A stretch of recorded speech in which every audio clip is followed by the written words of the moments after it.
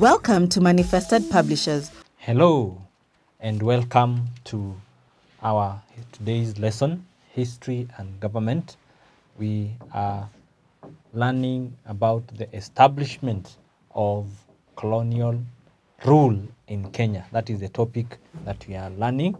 And uh, we are been learning about the uh, Kenyan society's response to the process of colonization by the British.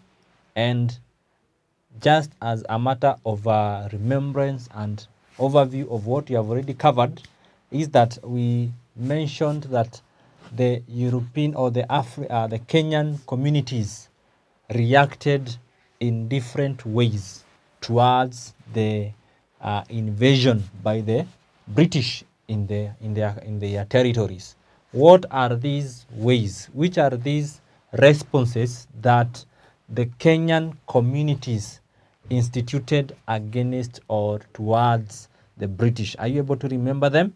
We said uh, there are three ways in which, or there are three responses that the Kenyan communities uh, responded to the process of European colonization in Kenya.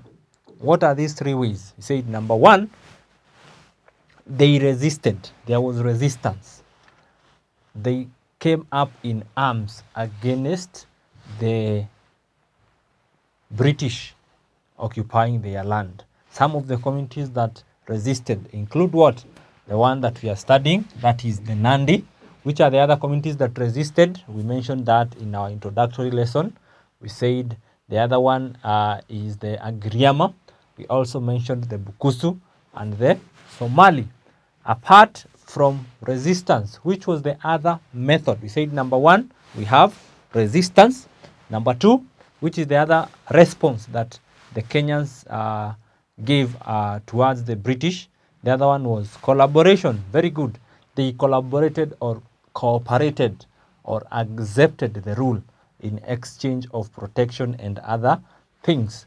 And in the, there are two communities that collaborated with the British in Kenya. That is the Maasai and the uh, Wanga. That is in among the uh, the Western Bantus.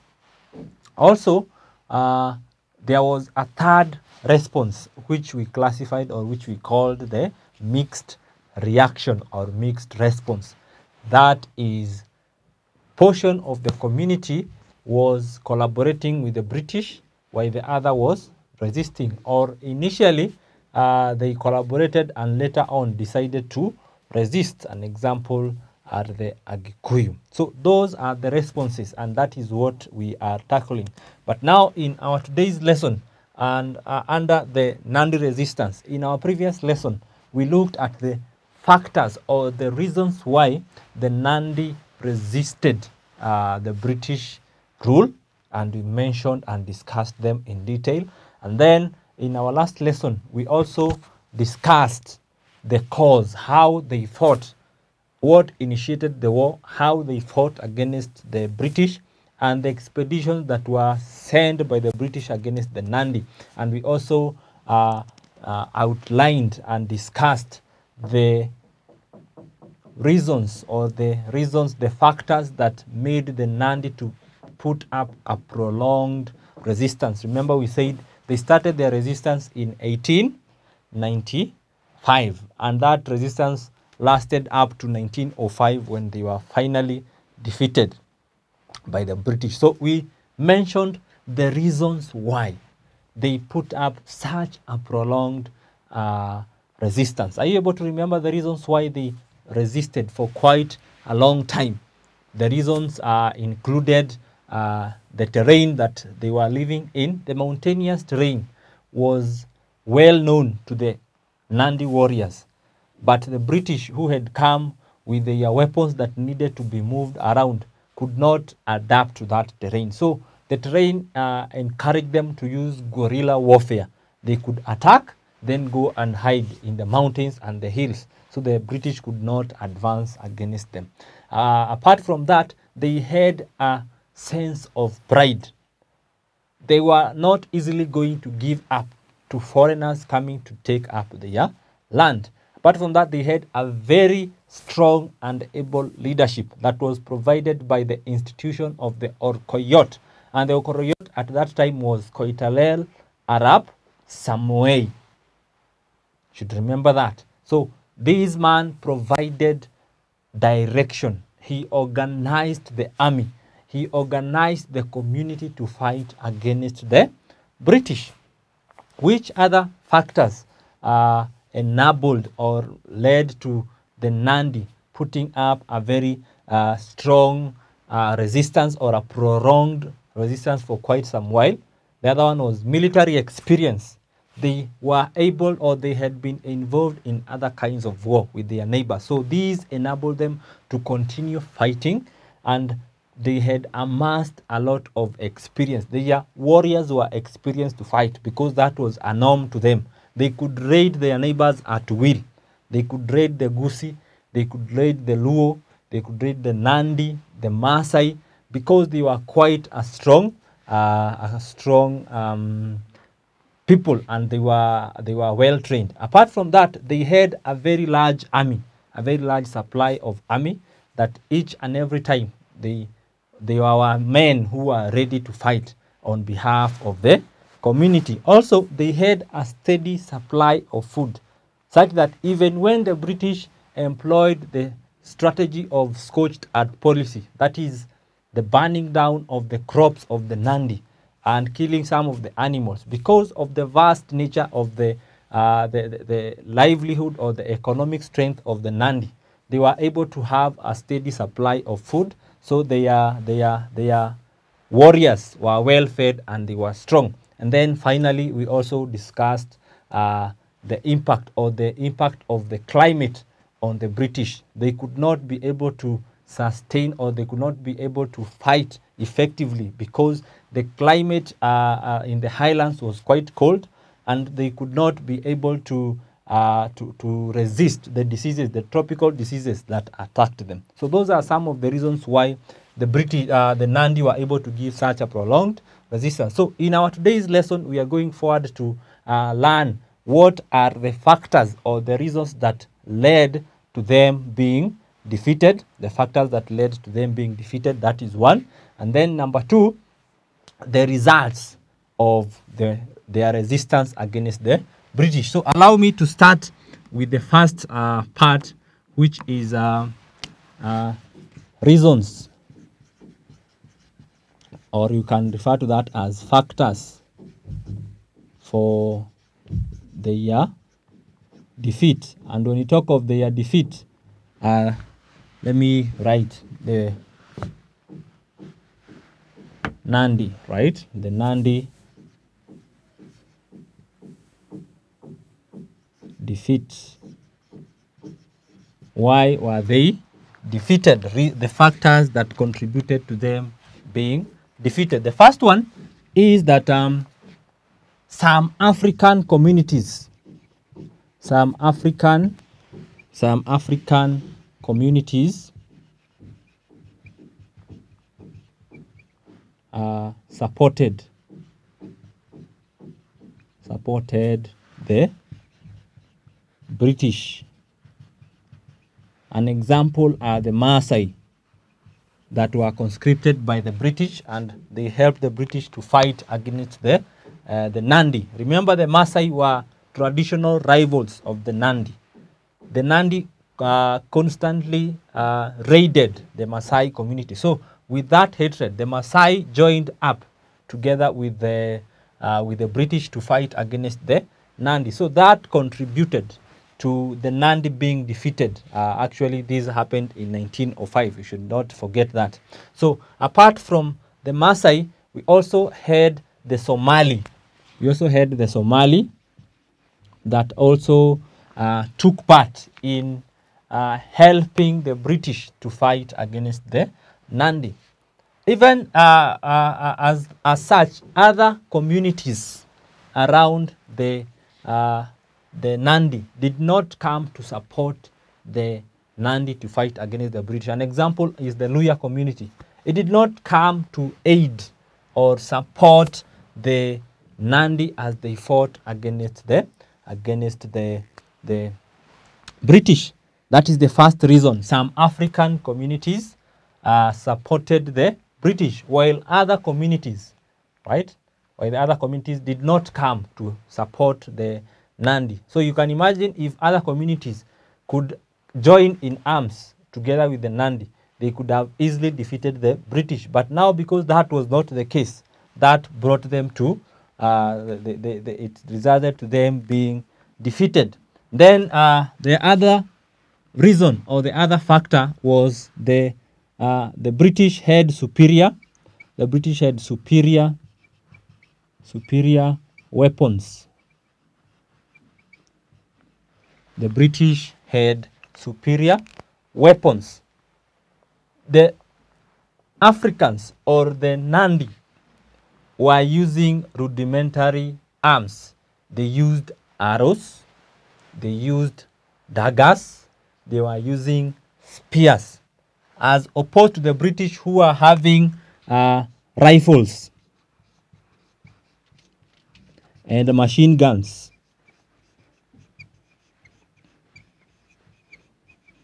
The Nandi were using spears, they were using arrows. So they did not, they are compared, comparing between a spear and a gun or a machine gun. Which one is likely to, uh, to, to outdo the other? That is why the Nandi ultimately were defeated because the armies or the British army had superior weapons compared to those of the Africans. The Africans had not uh, amassed the technology of, of uh, creating guns. Remember, even uh, as we are talking uh, at, uh, during this period, there were no industries of producing uh, arms in the Kenyan uh, territory. So that made a contribution towards the uh, Nandi being defeated by the uh, by the British. Apart from the superior weapons that uh, they had, uh, there were natural calamities. There were natural calamities. There were natural calamities that influenced or made them to be defeated. An example is the rinderpest. The rinderpest is the rinderpest that attacked their animals and led to most of the animals dying, thus making them to lack food. So when they were attacked by this pest, they were unable to sustain their economy. They were also attacked by smallpox. Smallpox. This is a disease that they did not have initially. So when they were attacked by this disease, it weakened most of them. And most of uh, the warriors were affected. They could not effectively fight. So the natural calamities that came, this, this is not a, a result of the British. It was just a natural occurrence that really affected them and it uh, interfered with their way of uh, fighting or, or with their way of going against the, uh, the, the British. Let us take a step further and look what are the other factors. Number four, the next factor, number four, is the British uh, used the scorched the British used the scorched earth policy. This is where, or this is this uh, involves the British uh, going to, or after they have attacked the Nandi at one place, they could come down and burn down. They could burn and destroy the crops and the animals that had been left by the Nandi while they were running away. Remember, the Nandi were using the guerrilla warfare. They would come and attack the British and then run away from their homes to go and hide in the mountains, to go and hide in the forest. So these they left their homes unattended to. So when the British came together with their collaborators, they would burn down, they would burn down their crops, they would destroy their silos, they would destroy their granaries. So when the Nandi came back, they were unable to get food. So the scorched earth policy to some extent also contributed to weakening the defense or the resistance by the Nandi. And uh, ultimately, they were defeated. And then, lastly, or the last factor that made them to be defeated was the death. The death of Koitalel. Arap Samoei. The death of Koitalel Arap Samoei. So this is uh, this uh, was the leader or the Orkoyot. He was the Orkoyot at that time. And remember, the Orkoyot was a very essential uh, person in the uh, Nandi community. He was the overall leader. He was. Uh, it was the institution that uh, brought together the members of the Nandi community. So they, they are Orkoyot, who was at that time known as Koitalel Arap Samoei, was tricked by the colonel of the uh, of the uh, the British and was captured and eventually killed. So that demoralized. It demoralized. It demoralized the warriors. It demoralized the warriors. So the warriors could not uh, mount up uh, an effective attack against the uh, the British as they had done under Koitalel because Koitalel was the spiritual leader and he also led the community in its uh, in its wars or in its expeditions against the enemies. So these weakened or it made them to lack uh, direction.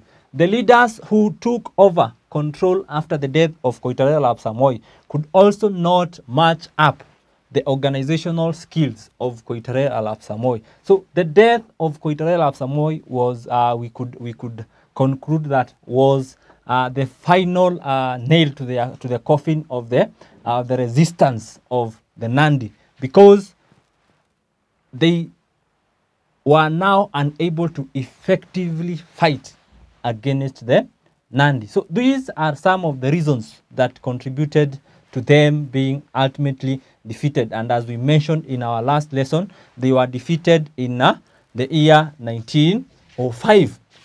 So now that they have put up a fight, they have fought against uh, the British and they have finally been defeated. What were the consequences? What were the results of their resistance? So let us take a step further and look at the results. The results, the results of the Nandi resistance.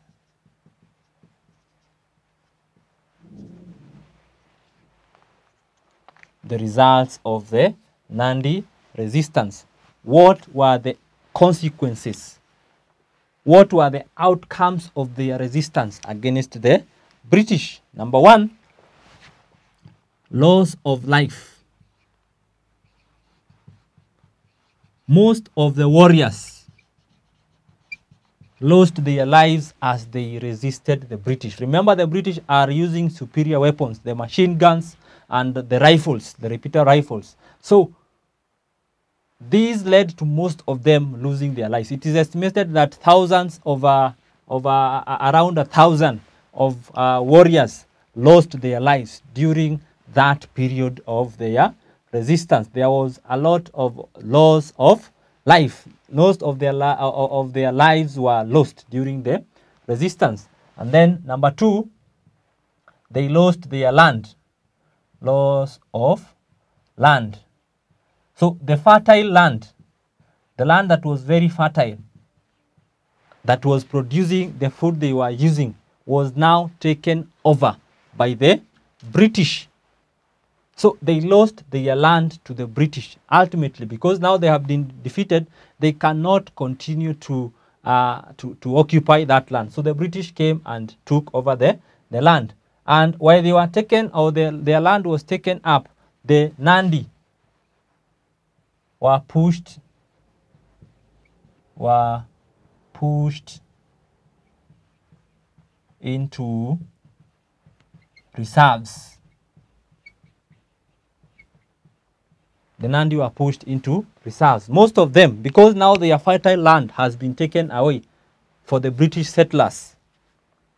The Nandi were now forced to move into the less productive land, and others were even left to become squatters in the land that the British were living in. So that was another consequence. The fourth one is that they lost their prestige. They lost their lost their influence or prestige. They lost their influence. Remember, the Nandi were the expendables in the in the in the in that area at that time. They believed they could not be defeated, but now that the the British have, have come and have finally defeated them, they now lost their influence in the region. They could now not be feared the same way they had been feared uh, before. Let us look at the, some other uh, results or uh, some other results of, uh, of uh, the Nandi resistance. So the fifth one, most of the Nandi warriors conscript, were conscripted, conscripted into British service. Now, because of their military skills and their ruthlessness, the British conscripted or forced uh, the Nandi warriors to work as police, as policemen, and also to join into the army. So they were now able to work under the British uh, government. And also, uh, they lost their independence. They lost their lost their independence. They lost their independence. And then, uh, uh, lastly, they were displaced. They were displaced.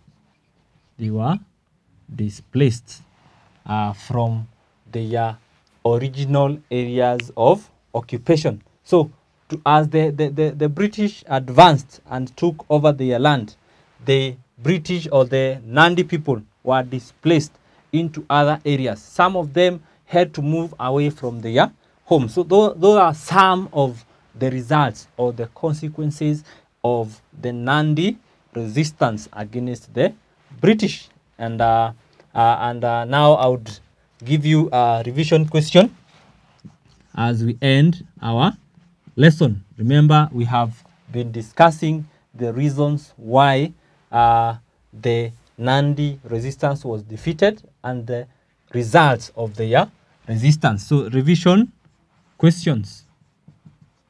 I'm going to give you two questions. And the first question, the first question is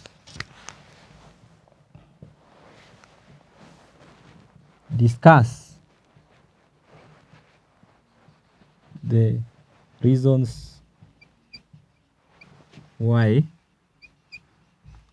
the Nandi resistance was subdued. And then number two, explain the consequences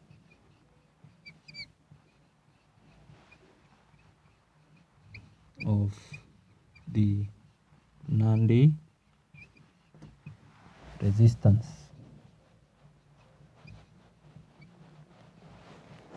against the British. Number one, discuss the reasons why the Nandi resistance was subdued. And number two, explain the consequences of the Nandi resistance against the British. And I'm sure those are the very easy questions that we, we have effectively tackled in our today's lesson. Thank you for having uh, time to study with me until the next time we shall meet for history and government lesson. Bye bye.